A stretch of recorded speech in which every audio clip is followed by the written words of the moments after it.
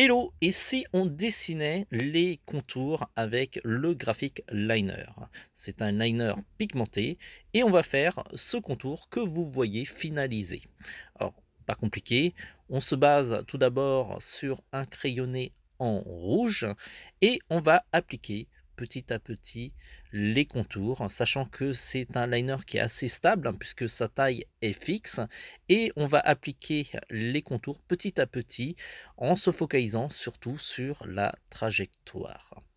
C'est un outil qui est assez adapté pour les débutants. Il existe plusieurs tailles pour avoir plus de précision ou un trait beaucoup plus prononcé.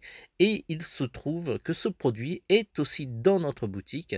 Et si ça vous intéresse, on vous montre comment vous le procurer. Cliquez sur boutique sur tvhland.com. Puis ensuite, allez sur Line Art. Là, vous allez voir en première rubrique, vous avez liner calibré et vous avez différents liners calibrés, Pigma Micron, NeoPico Line, et ce qui nous intéresse, les Graphic Line. Et vous allez pouvoir acheter à l'unité différentes tailles ou encore dans des sets.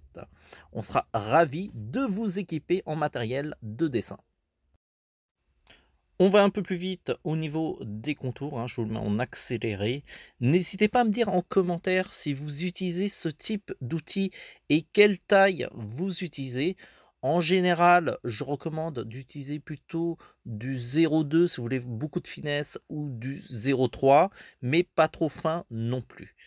Pensez à partager ou à liker si cette vidéo vous a aidé.